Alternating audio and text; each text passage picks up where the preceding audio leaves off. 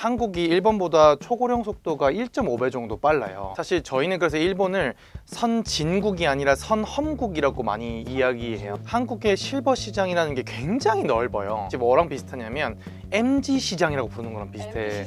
18년 정도의 시대를 한 층으로 부르는 거거든요. 일본은 네. 요 시설 안에 네, 네. 형태가 굉장히 다양해요.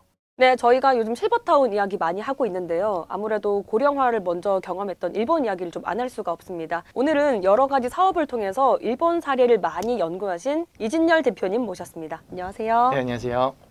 네, 대표님. 한국 고령화 사회가 일본보다 두 배 정도 빠르다고 얘기를 해주셨는데 실버타운이나 실버 업계에서 좀 체감하시기엔 어떤지 여쭤봐도 될까요? 사실 이게 구조적으로 우리가 일본을 계속 이야기할 수밖에 없는 이유들이 있어요. 사실 첫 번째는 우리나라 인구 구조가 일본과 딱 20년 정도 차이가 납니다. 그러니까 한국의 지금 고령화율이 일본의 20년 전과 비슷한 거죠.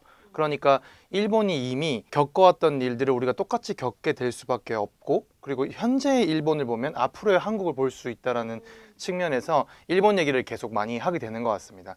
되게 재밌는 포인트는 한국이 일본보다 초고령 속도가 1.5배 정도 빨라요. 음, 그러면, 굉장히 빠르죠. 네. 어, 결국은 일본이 20년 겪은 걸 우리는 거의 한 10년 정도에 겪을 수밖에 없다는 얘기인데 그러니 일본의 현재를 보면 앞으로 우리가 약 한 2030년에서 2035년 정도에 어떻게 되어 있을까를 볼 수 있는 좋은 잣대가 될 수 있다 이렇게 보시면 좋을 것 같습니다. 2050년이 되면 우리나라 인구 40% 이상이 노인이라는 사실 알고 계시나요? 하지만 노인복지주택 수는 고작 38개. 고령 인구는 늘어나는데 공급은 너무너무 부족한 상황. 그래서 땅집고가 시니어 주거와 케어 시설 개발 전문가 과정을 준비했습니다. 현장 스터디부터 개발과 운영 노하우까지 모두 알려드립니다. 지금 바로 땅집고엠에서 신청해 주세요. 누군가가 먼저 간 길을 내가 개척하는 게 아니고 따라가는 거면 네. 사실 좀 빠르게 컨닝할 수 있다는 느낌도 맞아요. 들긴 하는데 우리나라에서는 좀 일본의 어떤 것들을 좀 빠르게 컨닝하고 있다고 봐도 될까요? 사실 저희는 그래서 일본을 선진국이 아니라 선험국이라고 많이 이야기해요. 한국이요. 선험국이요. 그러니까 먼저 경험했다는 거죠. 그러니까 선진국이라고 하면 은 먼저 어떤 부분을 이미 너무 큰 간극에 따라 그러니까 너, 이렇게 발전하고 있다는 얘기인데 사실 그렇다기보다 일본은 이 고령화라는 전체적인 그 패러다임을 먼저 경험했다고 보시는 게 맞을 것 같아요. 근데 그러다 보니 한국도 일본의 경험치를 따라가고 있는 중인데 그 대표적인 게 요양 서비스를 제공해주는 관련 보험들 특히 국가가 만들어 놓은 사회보험이 일본의 개호보험을 가장 많이 따라가고 있는 형태라고 보시면 좋을 것 같아요. 그래서 일본에는 요양 서비스를 국가가 지원해주는 개호보험이라는 게 있고요. 한국은 그것과 똑같은 노인장기 요양 보험이라는 게 있는데요. 두 제도가 거의 구조도 비슷하고요. 뭐 발전 상황도 거의 비슷해서 한국이 일본의 경험을 따라가는 가장 대표적인 사례라고 봐주시면 좋을 것 같습니다. 음, 이 개호보험을 어쨌든 따라한 거는 국가가 주도로 따라한 거잖아요. 네네. 민간에서도 사실 일본을 빨리 이렇게 따라갈 수 있는 게 있을 것 같은데 민간에선 좀 어떤 방식으로 일본을 좀 따라가고 있는지. 사실 이게 구조적으로 한국의 실버 시장이라는 게 굉장히 넓어요. 네. 그러니까 마치 뭐랑 비슷하냐면 MG 시장이라고 부르는 거랑 비슷해. MZ 시장. 그러니까 사실 그렇게 부르는 사람이 없잖아요. 어, 네네. 왜냐면은 그쵸. 그 사실은 65세부터 우리가 노인이라고 부르는데 네. 우리나라의 평균 연령이 한 84세 정도니까 네. 18년 정도의 시대를 한 층으로 부르는 거거든요. 어, 그걸 MG에 이렇게 대비시켜 보면은 네. 22살부터 40살까지를 한 계층으로 그렇죠. 보고 너희한테 이제 너희를 똑같이 보고 똑같은 물건을 맞아요. 팔겠다라고 하는 거니까 네. 잘 팔리지 않을 것 같은 느낌이 드는데. 그래서 사실 이 실버 시장 안에서 보통 주로 이야기하는 게 그래서 노인의 특성을 담은 이 요양 시장이에요. 왜냐하면 노인의 대표적인 특성이 신체 기능과 인지 기능이 좀 저하되어 있다는 게 노인의 대표적인 특성이잖아요. 그걸 보조해주는 서비스가 요양 서비스이거든요. 그러다 보니까 실버 산업하면 요양 시장을 보통 대표적으로 이야기를 하게 되는 것 같아요. 근데 요양 시장이 기본적으로 설계되어 있는 게 다 노인 장기 요양 보험 제도라는 국가의 법령을 기반으로 이 시장이 형성되어 있어요. 네. 그래서 제가 앞에 이 제도가 일본의 개요보험을 따라가고 있다고 말씀드렸잖아요. 그러다 보니 한국의 요양 시장도 일본의 요양 시장을 거의 똑같이 지금 따라가고 있습니다. 제도가 따라가기 때문에 시장도 따라간다고 이렇게 보시면 좋을 것 같습니다. 그러면 한국의 요양 시장은 좀 어떻게 나눠지는 걸까요? 일단 한국의 요양 시장이 요 노인 장기 요양 보험 제도를 따, 기반으로 하고 있다고 말씀을 드렸는데요. 이 제도가 크게 두 가지의 특징을 가지고 있어요. 하나는 이제 요양 서비스 비용의 85% 이상을 국가가 support를 해줍니다. 뭐 어떻게 support를 해주냐? 우리가 왜 여기 계신 분들은 건강보험료 내시잖아요. 그 건강보험료에 조그맣게 보면 장기요양보험료라는 걸 같이 내고 계실 거예요. 아마 보신 분들 많이 없으실 텐데 그 장기요양보험료가 건강보험료의 약간 형제자매 같은 제도인데요. 요걸 재원으로 국가가 요양 서비스의 85% 이상을 지원해 주는 게 첫 번째 가장 중요한 특징입니다. 두 번째는 그럼 이 서비스를 누가 하냐? 국가가 하냐? 그렇지 않습니다. 이걸 민간에게 위탁했다는 게 두 번째 특징인데요. 이 두 가지 특징을 갖고 있는 게 우리나라 이 요양 제도의 가장 큰 핵심이라고 보시면 좋을 것 같습니다. 그래서 요 요양 제도 안에 있는 서비스의 전체 총 시장 규모가 약 11조 원 정도 되고요. 대부분 이런 요양보험 제도, 우리나라가 만든 건강보험 같은 제도를 기반으로 형성되어 있다 이렇게 생각하시면 좋을 것 같습니다. 이게 11조 원이면 상당히 뭐 큰 돈이기는 한데요. 저희가 최근에 많이 다뤘던 실버타운 같은 경우는 사실 이런 지원금이 없다고 알고 있거든요. 맞습니다. 그러면은 그 아까 말씀하셨던 11조 원 규모의 요양 시장에는 일단 실버타운, 뭐 노인복지주택은 포함되지 않는 거네요. 어, 맞습니다. 그래서 요 11조 원 안에 있는 게 어떤 카테고리가 있는지를 조금 나눠 보면 크게 재가 서비스, 시설 서비스 이렇게 구분하실 수 있어요. 재가란 있을 제자에 집가자를 써서 내가 내 집에 살면서 다양한 요양 서비스를 받는 걸 재가 서비스라고 부릅니다. 그러면 시설은 뭐냐? 우리가 잘 아는 요양원이 대표적인 시설이에요. 그러니까 시설에 거주하시면서 서비스를 받으시는 거죠. 두 서비스의 가장 큰 특징은요. 내가 어디 사느냐예요. 내 집에 사느냐, 요양원에 사느냐가 가장 큰 차이이고 이 두 서비스가 전체 요양 시장을 나눠서 이제 나눠져 있다 이렇게 보시면 좋을 것 같은데요.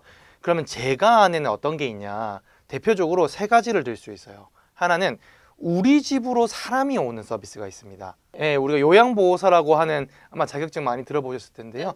그 요양보호사 자격증을 갖고 있는 분들이 집으로 오는 서비스를 방문 요양 서비스라고 부릅니다. 이건 하루에 한 세시간씩 한 일주일 내내 사람이 와서 어르신 이렇게 같이 움- 옮겨도 드리고 화장실도 같이 가고 뭐 이런 서비스가 방문 요양 서비스고요.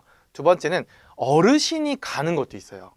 아, 어르신- 어르신이 가는 게 있어요? 네. 어르신의 유치원이라고 불리는 주간보호 day care 센터. 맞아요. 아, 저번에 한번 공부했습니다. 다루셨더라고요. 네. 그래서 이게 대표적으로 재가 서비스에 또 속합니다. 아, day care 센터는 시설이지만 이게 형식적으로는 재가에 들어가는 거네요. 어, 시설이 아닌 거죠. 아. 그러니까 이 재가와 시설을 나누는 가장 큰 기준은 내가 어디 사느냐예요. 이 서비스를 받는 분이 어디에 사시냐가 기준이 되는 거고 맞습니다. day care 센터는 집에서 왔다 갔다 하는 거기 때문에 재가에 들어간다는 말씀인 맞습니다. 거죠. 네. 그게 두 번째고요. 세 번째는 이 두 가지는 사람이 care하는 거잖아요. 네. 마지막엔 제품이 care하는 것도 서비스가 있어요. 뭐냐면 전동 침대, 휠체어, 안전 손잡이 같은 제품들을 렌탈하거나 구매할 때도 국비 지원이 85%까지 나옵니다. 이게 대표적으로 내 집에 살면서 쓰는 서비스들이에요. 그럼 이게 아닌 건 뭐냐? 다 요양원입니다. 그렇게 구분하시면 좋을 것 같고요. 그럼 실버타운, 뭐 노인주택 이런 곳들은 그냥 사실상 주거 형태의 어떠한 갈래라고 보시면 좋을 것 같아요. 왜 우리가 젊은 사람들이 뭐 쉐어하우스에 살기도 하고 원룸에 살기도 하고 아파트도 커뮤니티 시설이 되게 잘 되어 있는 아파트들도 있잖아요. 그런 형태의 주거의 형태라고 보시면 좋을 것 같고요. 국가가 법으로 정한 요양의 카테고리는 아니다 라고 보시면 좋을 것 같습니다. 음, 근데 이건 우리나라만 그런 거예요? 아니면 일본도 그런 거예요? 제가 듣기로는 일본이 개호보험도 있지만 실버타운도 굉장히 잘 되어 있고 네. 계층이나 소득 계층에 따라서도 되게 세분화돼 있다고 알고 있거든요. 네, 맞습니다. 사실 일본도 개호보험 안에는 똑같이 재가와 시설로 나눠져 있어요. 그럼 일본도 그 노인복지주택 실버타운은 이런 재가랑 이런 걸 보고 요양은 아닌 거네요? 어, 근데 되게 재밌는 게 일본은 네. 요 시설 안에 네, 네. 형태가 굉장히 다양해요. 아. 한국은 어, 요양원 하면 우리가 흔히 아는 어르신 좀 거동이 불편한 어르신들이 이제 들어가셔서 다인실, 2인실, 1인실 이렇게 거주하시는 이런 형태만 보통 생각하는데 일본은 요양이 필요 없는 그러니까 약간 요양 앞단부터 시설 수가를 받으실 수 있어요. 시설에 들어가는 어떤 그 비용을 지원을 받으실 수 있어요. 아, 시설 수가라고 하면은 내 몸이 건강하고 네. 내가 아플 수는 있지만 네.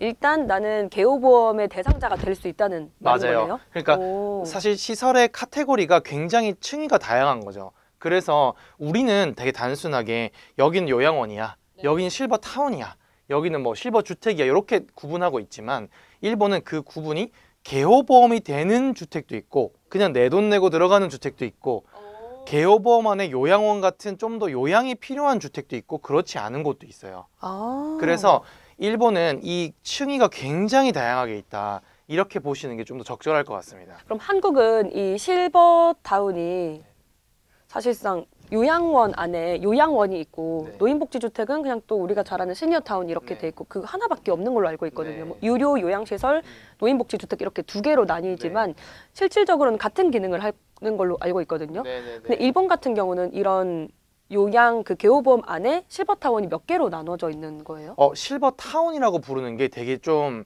우리만 부르는 말인 것 같아요. 아, 네네. 그러니까 실버 타운이라는 얘기는 잘 뜯어보면 노인들이 주로 사는 주거의 단지를 뜻하는 거잖아요. 그렇죠. 그러니까 그 주거의 형태가 개호보험이 제공되는 주택도 있고 그 안에 내가 좀 더 건강한데 예방하는 측면부터 거주하는 주택도 있고 내가 요양 서비스를 받아야 되는 주택도 있는 그렇게 카테고리 나눠져 있는 거지 우리가 얘기하는 실버 주택이라는 범주가 좀 더 넓은 범주여서 이 약간 음. 혼란이 있는 것 같다라고 좀 보시면 그럼 일본 같은 경우는 딱 구체적으로 몇 개로 나눠져 있습니다. 이렇게 말을 하기는 어렵지만 맞아요. 어르신이 이제 몸이 아프기 전부터 맞아요. 몸이 아주 아플 때까지 갈수 있는 시설이 다 있고 맞아요. 지원을 받을 수 있다는 그런 이야기인 맞습니다. 거죠. 그리고 음. 그걸 내 돈으로 내 돈을 다 내고 가는 곳들도 있고 이거에 대한 다양성과 층위가 굉장히 많이 마련되어 있다. 이렇게 보시면 좋을 것 같아요.